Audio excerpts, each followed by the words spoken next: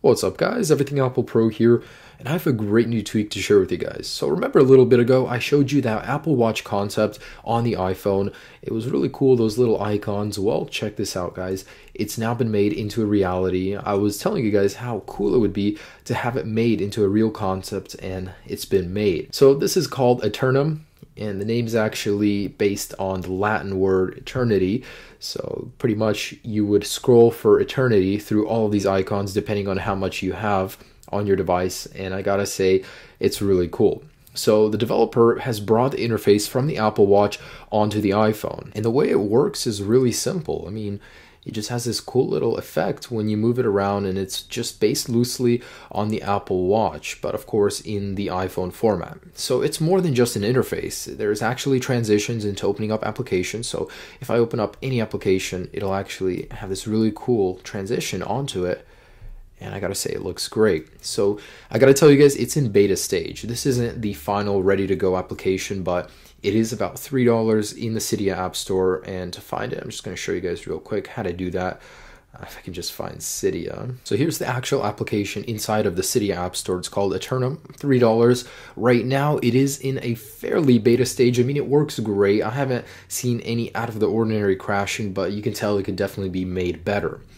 So, you know, just download that and you guys will be greeted with this. Now, the more applications you have on a larger display, the better because I barely have any. This is just stock and a couple applications. So as you guys can see, there's a big gap up here and down here.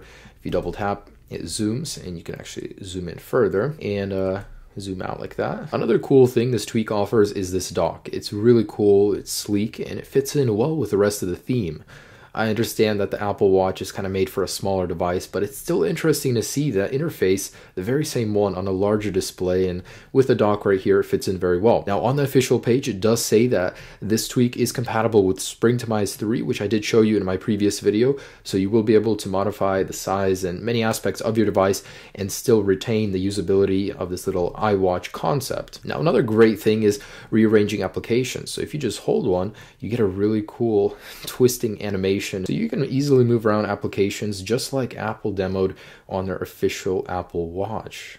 Mm, you know, it's really easy, very fluid, and the developer is hard at work. He's going to be adding new features, you know, options to add more icons down here. From what I've seen, he actually cares about his work a lot and it's great. So, anyways, guys, that's just really interesting to see a concept brought to real life. And this is a fully working, not just a theme, but a functional Springboard Apple Watch theme. I would definitely recommend you try this out. I mean, it's fun, fun to show people that interface being brought to life on an iPhone, iPad, or iPod Touch screen. But like I said, it looks a little bit better if you have more applications or if your display is a little bit smaller because I just have so much free room up here that's not filled up with applications. But it's called Aeternum. It works on iOS 8, iOS 7, and iOS 6. Definitely check it out, guys. Peace.